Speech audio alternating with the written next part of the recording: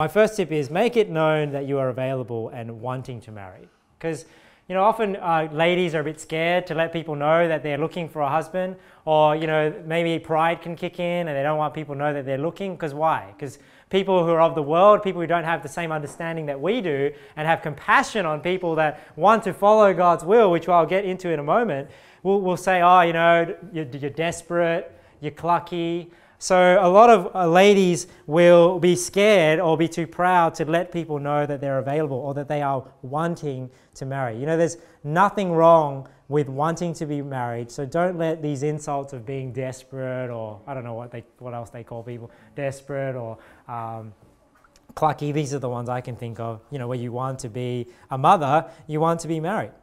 Look what it says here in 1 uh, Timothy 5. Paul is saying here to, to the women that are not married, or have been, have been uh, widowed in this instance, so they, they are unmarried. He says here, I will therefore that the younger women marry, bear children, guide the house, give none occasion to the adversary to speak reproachfully. Now, is there any confusion about this verse? There's no confusion about what God wants for a young lady. But how many young ladies in Christian churches these days are saying, I don't know what God's will is for my life. I don't know what God wants me to do with my life. What, what is the will of God for me? When it's, when it's written in plain, plain English right here, it says, I will therefore that the younger women marry, bear children, guide the house, give none occasion to the adversary to speak reproachfully. Right? As though if you don't do these things, the adversary is going to say you're doing the wrong thing. Right? Now, you, knowing this verse is in the Bible, when somebody calls you desperate or calls you clucky, now you should, you should wear that as a badge of honor, right?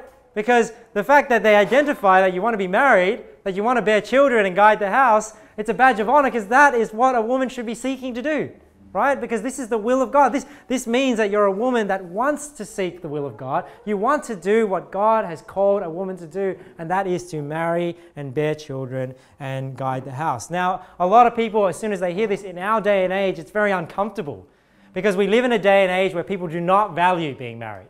You know, we live in a day and age where people do not value being a mother. People do not value having children. Instead, you know, we live in a day and age where people want to go work and they want to go have a career and be the president of the United States and follow, follow in what? Hillary Clinton's footsteps, right? But this is the day and age we live in because they do not value these things. But this is not what God values. What God values is being a mother, being a wife, and having children. You know, it always boggles my mind, you know, even somebody who does want to do those things, wants to work and have a career and all these things, because most of the time, women that go into the workforce and give up having children or put their children in daycare, they're usually working quite entry level jobs. You know, a lot of the people that I know, like they're in, in, customer service or an admin assistant, and you just think like, why, why would I leave looking after my children to go answer emails and answer phone calls? You know, they say like, you know, I, I, I want to get fulfilled. I want to, I want to be an independent woman and, and go out and work. And then, and then all that happens is they go and they sit in front of a computer all day and they do what I do, which is answer emails and answer phone calls. And the only reason why that, that, that, that, that job gives me any reason is because I'm looking after my family. So, like, why would a woman want to leave looking after the family to do what a man is doing, only to do that to look after his family? You know? So, so not only that is, is uh, that, that mindset of, you know, why would you give up something much more valuable, which is taking care of children, having, having the freedom to go where you want, not having to clock in and clock out, put on a uniform, to go clock in and clock out, put on a uniform, and sit in front of a computer and answer phone calls and type emails.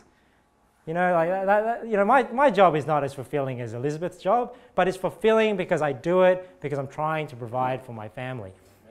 Not only that, you know, Jesus said, Watch out, it profit a man if he gain the whole world but lose his own soul? So a soul is much more valuable than any riches that anybody could earn. And you know, you say, oh, well, you know, they're not, no, my, my daughter or my wife, she's not, she's not just some entry level person. She's a manager, she's a CEO, she's the president of the United States. It doesn't matter how much power or how much money you can gain, that position is not anywhere more valuable than being a mother. Because one of your children is more valuable than all the riches. You know, all the iPhones, doesn't matter if you're the next Steve Jobs all the iPhones and all the billions of dollars that you can make is not as valuable as one child that you're looking after. And that's why when you see this verse, don't think, oh, that's bondage. That's just men trying to oppress women and keep them in the home and, and get them to, you know, they don't want them to be anyone or anything.